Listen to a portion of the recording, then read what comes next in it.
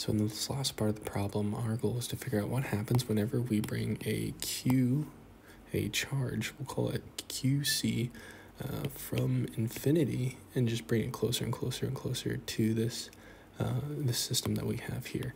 And since like we've been working with, this is a uh, neutral conducting sphere. Well, it's not neutral anymore when you put these in here because we know that way there's a accumulation of plus charges that is uh, equal to the magnitude of QA plus QC on the outside as we figured out in the first part of the problem.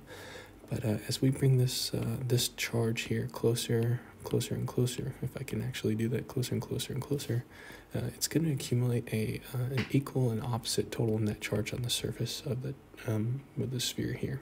And thanks to the principle of superposition, it's actually going to be equal to the uh, the sum of all three of these charges, except this one is going to be the um, the negative charge right here. So it'll be QA plus QB, because that was what we figured out from before in the previous part of the problem. And then um, we're going to subtract the, the induced negative charge that accumulates to try to cancel out the effects from that electric field from that uh, charge right there, so plus QC. So to answer the last part of the question, part E, uh, directly is what parts of the questions actually change.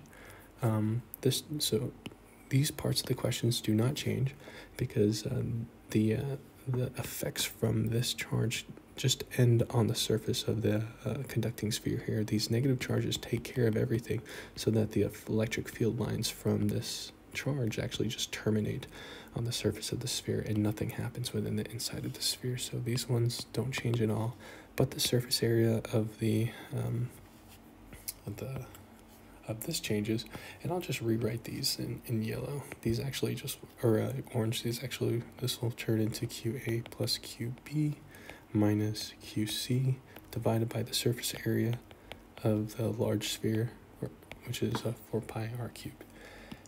And then if we move down to part B, what is the surface area, or what is the electric field on the outside? Like I said, um, so there's positive charges out here so that they push on the outside, they emanate radially outward from the outside, but then you have a bunch of negative charge that's uh, accumulating from this QC as it um, um, thanks to ex existence. So this will actually end up changing, and I'll go ahead and write this in uh, orange. It's pretty easy change. You just add in the new charge that's on the surface of the sphere.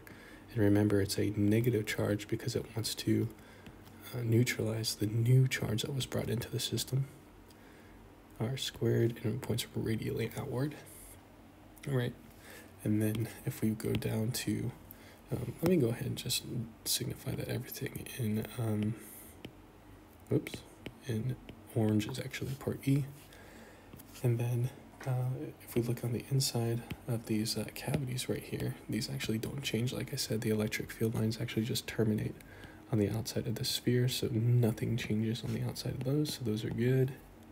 And then if we look at the force on the inside of this charge right here, uh, the force on each one of these, there's no net force on there because like I said, the new electric field just terminates on the outside of the sphere, so none of it actually gets within the, the, uh, the surface uh, cavities of the, the charges right here.